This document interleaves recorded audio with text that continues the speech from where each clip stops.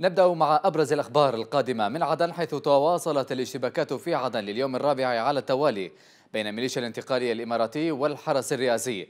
وأكدت مصادر عسكرية أن ميليشيا الانتقالي الإماراتي تمكنت من السيطرة على اللواء الثالث حماية رئاسية وسيطرت على اللواء الرابع حماية رئاسية في مديريات دار سعد شمال عدن. وذلك عقب وصول تعزيزات لميليشيا الانتقال من محافظات الضالع بنحو خمسين طقما عسكريا إلى جانب مشاركة معسكرات الانتقال في لحج.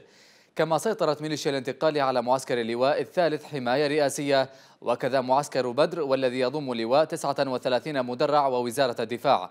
وشنت ميليشيا الانتقال هجوما عنيفا على منزل وزير الداخلية أحمد الميسري منذ ساعات الصباح وتمكنت من دخوله بعد ظهر اليوم في وقت ما يزال مصيره مجهولا.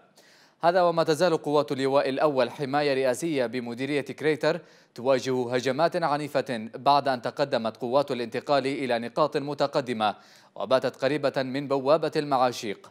وأعلن قائد قوات الأمن الخاصة بإقليم عدن لواء فضل باعش انضمامه لقوات الانتقال وأعلن اعترافه بعيدروس الزبيدي. كما سيطرت قوات الانتقال على لواء الدفاع الساحلي بمنطقة العريش في خور مكسر يشار إلى أن الحكومة وأعضاء مجلس الوزراء والرئيس هادي ومنذ تحرير عدن من ميليشيا الحوثيين لم يتمكنوا من الدخول إلى عدن إلا بتوجيهات من الإمارات والتي تدير الوضع في المحافظة. يأتي ذلك فيما الشرعية والأحزاب صامتون على ما يحدث ويشكلون غطاء سياسيا لما يجري في عدن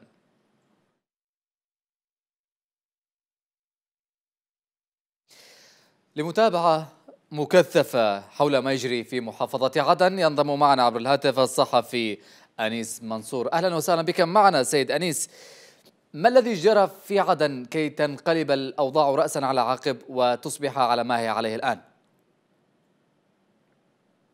آه الذي حصل في عدن أن آه، صاروخ حوثي في معسكر الجلاء أسقط مؤسسات الدولة في عدن. وجاب آه انقلاب جديد يعني نفس ال ال ال أو كما يقال مكتمل الأركان. اللي حصل يا أخي آه، يعني واضح وضوح الشمس. آه، الدور الذي ظلت تحضر له الإمارات الممارسات التي ظلت تمارسها الإمارات الاستعداد لمثل هذا اليوم من قبل الإمارات المحاولات السابقة التي يتم إسقاط فيها محاولة إسقاط الدولة والشرعية والانقلاب عليها وهي عدة مرات. هذه المرة كانت آه، القشة التي قسمت ظهر البعير في ظل التحذيرات والتخوفات. الذي حصل لم يكن جديدا وهو نفس مسلسل انقلاب الحوثي. هو نفس المسلسل لغة الدواعش لغة القاعدة لغة الفساد لغة نائب الرئيس لغة المنطقة الفرقة الأولى. مدرع هي نفس الألفاظ نفس السيناريو بكل آه، ما حصل. لكن سيد انيس كنت تتحدث عن تقدم لقوات الحماية الرئاسية وسيطرتها على معسكرات الانتقال وبأن الوضع في عدن يتجه لصالح الحكومة نعم. لكن الناس تفاجؤوا بأن الوضع اختلف تماما. الوضع اختلف لأنه أنا بقول لك ما الذي حصل. نعم. الذي حصل باختصار إنه المعركة لم تكن متكافئة لأنه القوة الأخرى هي قوة كبيرة معدة بعتاد كبير وسلاح ثقيل وكمية بشرية هائلة. بينما هذه القوة هي قوة دفاعية كانت قد حققت انتصارات وكان في التفاف شعبي والتفاف يعني داخل لكن تغيرت المعادلة. أنا أريد أن أقول نقطة واحدة. إحنا آه، الحقيقة اللي حصلت في عدن أو المسلسل اللي حصل في عدن.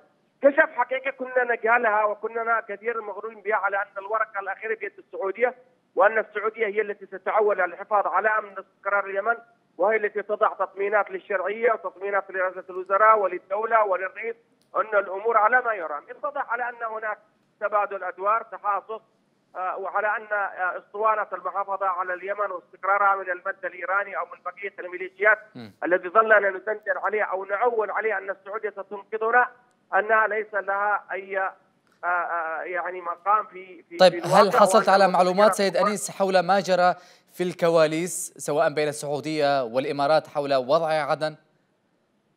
أخي طبعا لا, لا لم نحصل على الكواليس أي شيء. هناك بعض الكلام أن في اتصالات وفي كذا في تسليم واستسلام لا لم يحصل أي اتصالات. كانت مقاومة وهناك شهداء من ال من ال من ال الحماية الرئاسية وهناك قتلى وهناك تضحيات وهناك تحديات حصلت. لا يوجد إن البعض قال للرئيس وجه بالتسليم. لم يحصل أي تسليم إلا الرابع حماية رئاسية بعد أن نفذت الذخيرة والمؤن وضاقت عليهم من عدة اتجاهات انسحبوا إلى لواء النقل، أما عملية الانسحابات التي حصلت إنها بإيعاز وأنه في اتفاق لا يوجد أي اتفاق، اللي حصل في فجر اليوم هو أن قوى سعودية جاءت وأخذت آه نائب رئيس الوزراء وزير الداخلية وأخذت أيضا الوزير صالح الجبواني واتجهوا بهم إلى إذا هل هذه معلومات مؤكدة؟ لأننا تحدثنا في الخبر أنه لا توجد معلومات عن مصير آه، نائب رئيس الوزراء وزير الداخلية أحمد الميسري بعد اقتحام ميليشيا الانتقالية إلى منزله طبعا هناك هناك رواية رواية من ضابط الداخلية أنه تم تصفية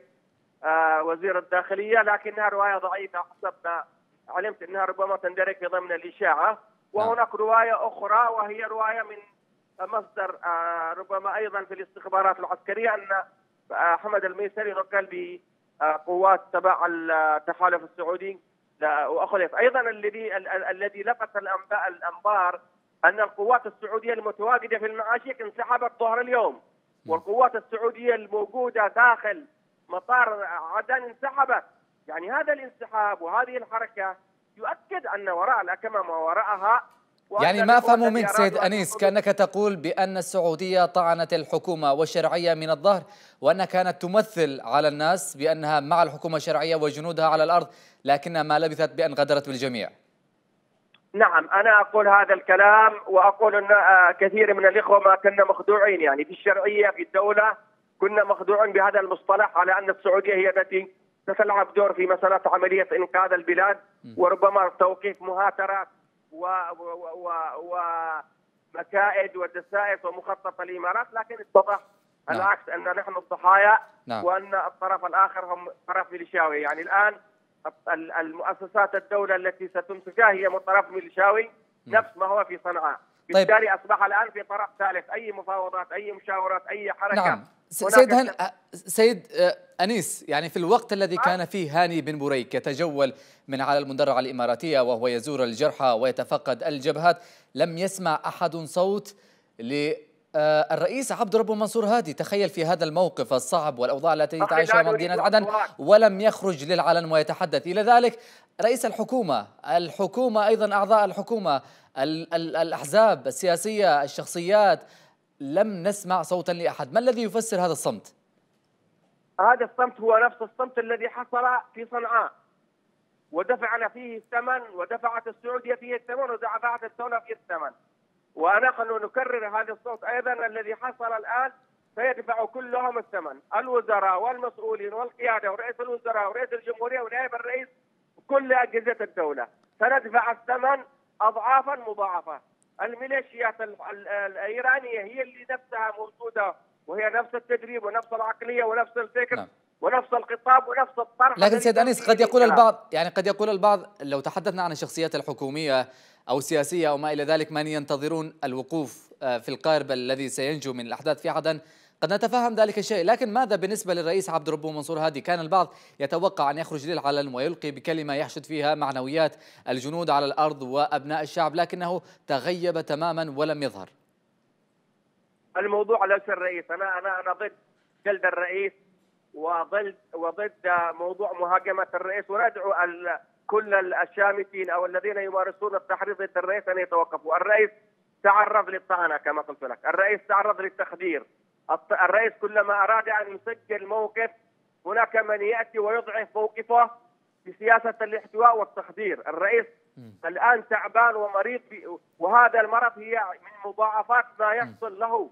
الرئيس كثير من القرارات كانت جاهزة في اللحظات الأخيرة يأتي ضابط في الاستخبارات السعودية فيغير المعادلة ويغير كل شيء، هذا باختصار خلونا نكون واضحين، طيب. الموضوع موضوع مستقبل بلد، أنا أتحدث الآن وأنا في في حالة يعني واضحه أتحدث بها بصراحه أقول لك اللي حاصل أن لا نهاجم الرئيس الذي حاصل أن هناك الرئيس تعرض لطعنات متعددة ولمحاولات انقلاب وفي كل محاولة يتم عملية التخطير لكن قد يقول البعض بأنه يتحمل المسؤولية إن كان على نيته في النهاية وهو رئيس الجمهورية ويتعامل بالنيات ويودي بالدولة إلى إلى إلى الجحيم وهو لا يعرف ذلك. لكن هناك هناك تطورات أيضا شهدناها خلال الساعات الأخيرة وهي إعلان قائد قوات الأمن الخاصة بإقليم عدن اللواء فضل باعش انضمامه لقوات الانتقال وأعلن اعترافه أيضا بعيدروس الزبيدي، هل سنشهد خلال الساعة القادمة أحداث مماثلة اعترافات مماثلة لقيادات في الجيش آه، للانضمام إلى عيدروس الزبيدي؟ أعتقد يا أخي أنا لا أستطيع أن أنبئك بما حصل وبما سيحصل. آه، البعض ربما استخدمها تقيه والبعض ربما استخدمها قناعة والبعض ربما استخدمها سياسة في ظل آه، ليس لديهم قوة والبعض لديهم مصالح لا يريد أن يموت ولا يريد أن يضحي ولا يعرف إيش الذي حاصل. آه، مسألة المواقف والانهزاميه التي حصلت من قبل قوات الجيش هي نفسها نفس المسلسل الذي حصل في صنعاء. وكانت هناك انضمام وبالتالي الحوثي نكل بكل من ينضم معه أو تحالف معه. وهؤلاء سينكلوا بكل من هو من أبين أو من شبوة لأن ال ال ال القوة الموجودة حاليا هي قوة مناطقية من ثلاث مناطق. نعم. القوة التي تقاتل هي قوة مناطقية ميليشيوية ليس لها آه بعد وطني لا حتى على مستوى الجنوب يعني. حتى على مستوى الجنوب الآن طيب. آه هم غير راضين عن ابين وغير راضين عن وغير قابلين آه، بحضرموت أن تكون شريكا أو طيب نذهب بسؤال سريع إلى الوضع العسكري وبعدها نعود إلى الوضع السياسي. آه سقطت آه اللواء الثالث حماية رئاسية، اللواء الرابع حماية رئاسية، أيضا آه معسكر بدر واللواء 39 مدرع ووزاره الدفاع وما إلى ذلك، الآن بقي قوات اللواء الأول حماية رئاسية بمدينة آه بمديريه كريتر. هل تتوقع أن تصمد قوات هذا اللواء آه، قبل اقتحام ميليشيات الانتقالي لقصر المعاشيق؟ طبعا آه، أنا أقول لك لا تستطيع أن تصمد. لكن ربما يكون هناك قرارا ورسالة واتصال وضغط للتوقف والعودة من حيث أتوا. بالتالي ستتحول آه، يعني البحث عن ميزان معادلة أخرى. آه، حسب العلم لكن لم يبقى شيء في المعاشيق حتى آه، يتم الدخول فيه ولم يبقى حتى القوات السعودية اللي موجودة في المعاشيق قد انسحبت أصلا ظهر اليوم. فموضوع ال ال ال سقوط المعاشيق والمعسكرات والألوية موضوع خلاص أصبح محسوم ومسلم به سلفا يعني. لا, لا وأتمنى أنه نعم. آه يتم التسليم أفضل من الدخول في مواجهة وحقنا للدماء. ويعني وسيدفع الثمن من حرض ومن دفع ومن مارس الشماتة ومن عمل الآن على تبادل المصالح والشعب اليمني نعم. الآن كيف سيكون موقف الحكومة الشرعية بعد أن تعرضت لهذا الموقف وطعنات كما توصفها مع التحالف العربي هل ستستمر معهم؟ ما أجين يعني أكيد أكيد الآن كيف سيكون موقف الحكومة مع التحالف العربي بقيادة المملكة العربية السعودية والإمارات في صعيد الأيام القادمة؟ طبعا أخي الآن الموقف أنه كثير من الذين تخاذلوا وصمتوا ولم يسجلوا اي موقف نعم. لن يكون لهم أي مقام أو مقال أو آآ آه، آآ آه، يعني مكانة في الأيام القادمة، لو كان سجلوا موقف حتى وإن تعرضوا لأي عقوبة أو أي أمر من الدولة أو من الشرعية سيكون لهم قيمة ووزن لدى الشعب ولدى الجمهور. نعم. لكن الصمت الذي حصل هو صمتا قتل الشعب وقتل الجميع ولم يخرج يعني سوى وزيرين وزير الداخلية ووزير النقل هؤلاء الآن حتى وإن اتخذ في حقهم ما أتخذ أصبحوا في نظر في نظر الشعب نعم. هم البطولة وهم القوة وهم الذين لعبوا دورا كبيرا جدا في تعزيز دور الدولة اذا أشكرك جزيلا نعم أشكرك جزيلا شكر المحلل السياسي أنيس منصور.